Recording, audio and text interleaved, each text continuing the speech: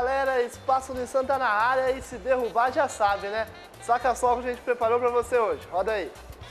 O Nissanta realiza mais uma feira de profissões. Jornalista, escritor, colunista e uma verdadeira enciclopédia. No Entre aspas de hoje, conheça Paulo Vinícius Coelho, o PVC. Para tirar as dúvidas dos estudantes sobre qual carreira seguir, a Unisanta realiza a tradicional Feira de Profissões. Mais de 30 cursos em um único espaço. Profissionais de várias áreas à disposição de quem ainda está em tempo de escolher. Ele está definindo o seu futuro. E a escolha profissional ela, ela, ela, ela é importante porque lá na frente porque você tem que ter um prazer também na sua profissão, você não se arrependa das suas escolhas. A Unisanta recebeu visitas de escolas de toda a Baixada Santista. Os alunos, a maioria do ensino médio, procuravam os estandes e tiravam as principais dúvidas. Teve curso que criou maneiras de interagir com os futuros profissionais, tudo para tornar o evento ainda mais atrativo. De manhã, os visitantes também puderam assistir uma apresentação dos alunos da FEFESP.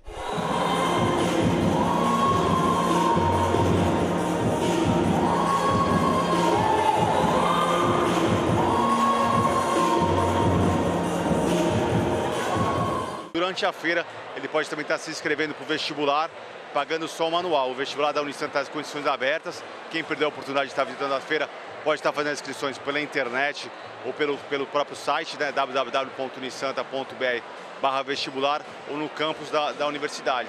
São 33 cursos de graduação presenciais e à distância. E quem participou saiu daqui com uma ideia na cabeça eu escolhi o direito. Legal que eles me deram um livro e um folheto explicando melhor sobre a faculdade.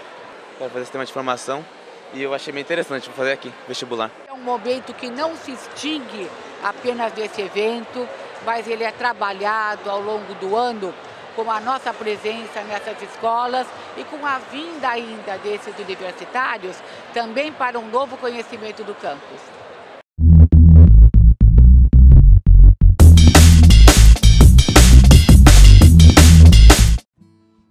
Menos de 3 minutos de jogo. Todo o peso do quinto maior país do mundo sob suas costas. Mais do que individualmente, a seleção toda era questionada. Era aquele o teste de fogo. Vencer era obrigação, perder era vexame. Marcelo domina na esquerda e lança para o meio. Fred domina meio de peito, meio de queixo, na meia-lua. A bola espirra, quica no chão e se oferece para ele. Domina, Neymar bateu! Olha aí!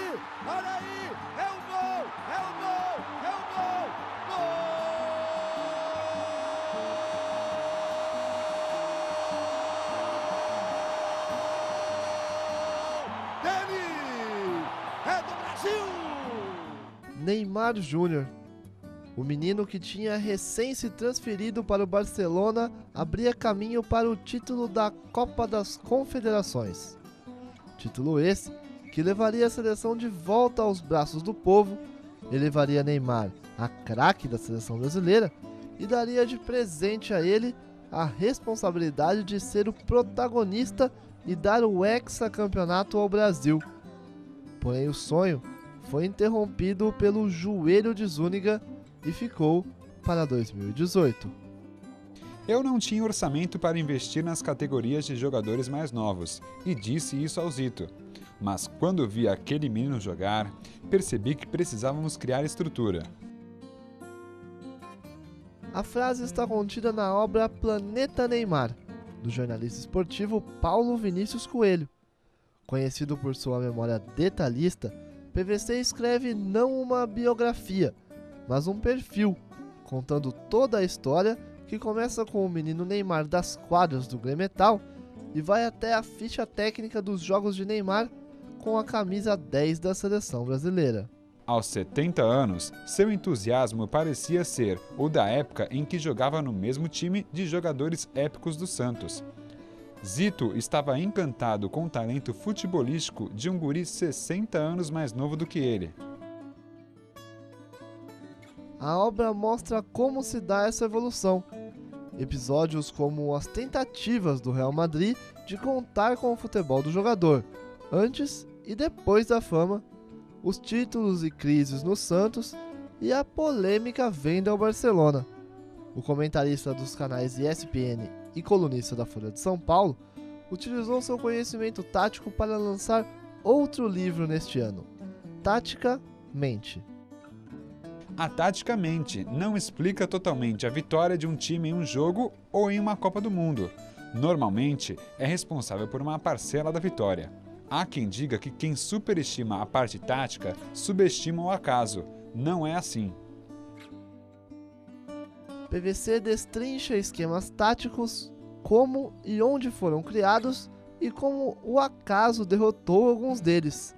O conhecimento tático é tamanho que alguns técnicos já se viram obrigados a mentir para o jornalista de forma que ele não entregue cada pormenor de seu time. Felipão era mais gaúcho, mais pragmático e mais defensivo do que Parreira em sua história de formar times competitivos. E escalava três zagueiros, como Lazzaroni em 1990, diferente de Parreira de 1994. A coluna Prancheta do PVC também já rendeu alguns convites para treinar ou integrar a comissão técnica de vários times brasileiros. O jornalista negou prontamente. Afinal, como diz o slogan do canal onde trabalha, informação é o nosso esporte.